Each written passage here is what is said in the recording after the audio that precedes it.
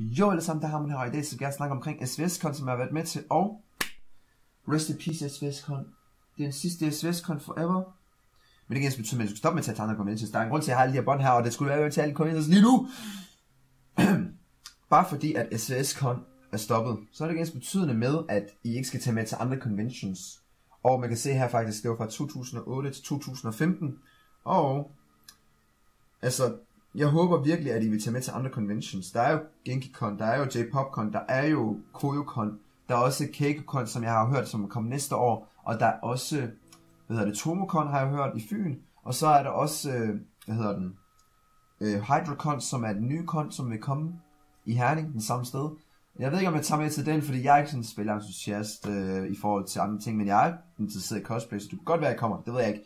Men uanset hvad, så vil jeg gerne sige rigtig mange tak til hver en af jer derude, som har gjort SVS-Con til en fed oplevelse for mig. Og jeg håber, at det at være sammen med mig, har været en fed oplevelse for jer derude. Så, jeg vil gerne sige rigtig mange tak til staffene, staffet. Øh, rigtig mange tak til eventteamet, til GoFerne, til dem, der har lavet mad til os underlige mennesker i det madbod der. Det er helt sindssygt, hvor lang tid de har været vågne bare for at lave mad til os. Og rigtig mange tak til dem, som har været ved boderne, ved Artist Allen, øh, ved det der open, open workshop crafting, halløjse afsted, og gaming roomet, og alle jer derude, som har gjort SVSCon til en fed oplevelse at være med til. SVSCon har, var virkelig fed faktisk. Det var en fed måde at afslutte det på med fyrværkeri, med 30 cosplay acts, og til jer cosplayers derude, som har actet i det.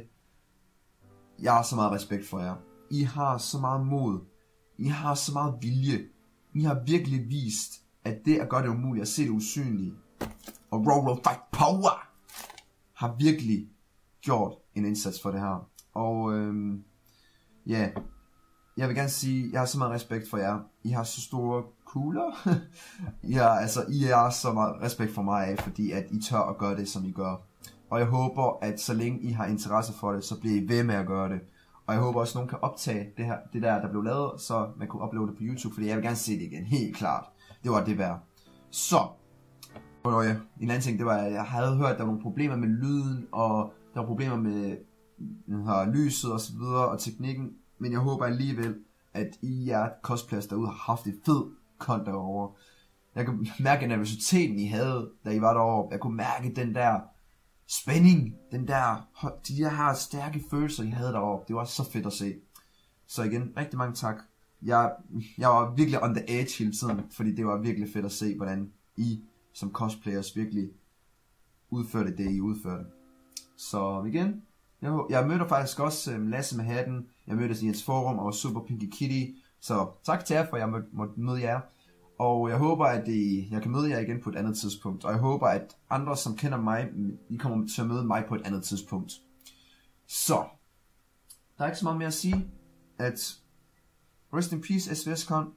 Og jeg håber, at, og jeg vil gerne, ja, igen, tak til SVSCon for at lave det her fede convention. Det var min første og sidste SVSCon forever, så jeg kommer ikke til at være med til det mere, fordi det ikke findes mere, så forhåbentlig så kommer jeg, når jeg, en anden ting, det er, at hvis folk har optaget mig, eller hvis folk har taget billeder af mig, jamen please send det til mig via Dropbox, uh, øh, Share, et eller andet, der kommer link ned i beskrivelsen til min mail, uh, skriv på Facebook, et eller andet. Jeg vil gerne have, at I ligesom sender noget til mig, fordi at de oplevelser, jeg havde haft sammen med jer, og de billeder, jeg har taget af mig, jamen det har været en oplevelse for livet. Og det håber jeg, at jeg kan ligesom huske på, så længe at jeg lever. Så igen, rigtig mange tak, og let's move on to the future, og være med til nogle andre cons. Der er jo KakeCon, der er jo HyperCon, så, og de andre conventions øh, normalvis, og jeg håber, jeg kan møde jer til nogle af dem. Så, vi ses til næste gang, og igen, Pierce for the Heavens.